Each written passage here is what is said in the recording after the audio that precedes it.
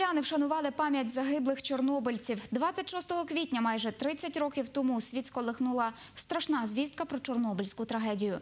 Тисячі життів віддали тоді українці, рятуючи своїх дітей і близьких. Серед ліквідаторів цього смертельного лиха було й багато жителів нашого краю. Відтак, щороку цього дня з квітами в руках до пам'ятного знаку, що у парку національного відродження йдуть тернополяни. Хвилиною мовчання вони вшанували всіх, хто боровся з Чорнобилем, освятили хрест, який нещодавно встановили, а також поклали квіти, які символічно цього разу мали жовто-сині барви. Та брехня, котра була тижнями про те, що відбулося насправді в Чорнобилі, відкрилася зовсім недавно. Ми маємо унікальну можливість відкрити для себе ті події, котрі були тоді. Але сьогодні ми маємо іншу ситуацію. Маємо інші можливості пересвідомити дуже багато речей.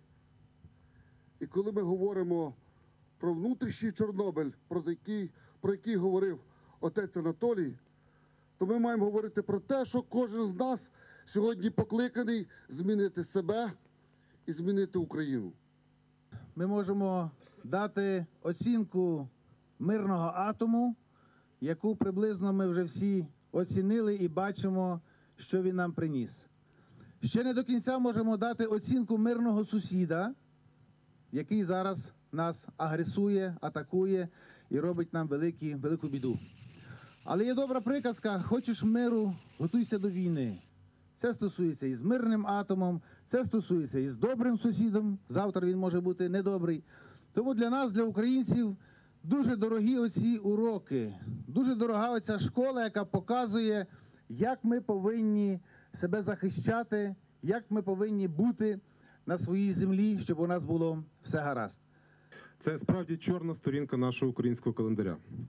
Але цей день є досить символічним, тому що цей день став точкою неповоротності, неповоротності до радянської системи. Це день, який ще раз збудив приспану національну свідомість і прискорив здобуття незалежності Україною.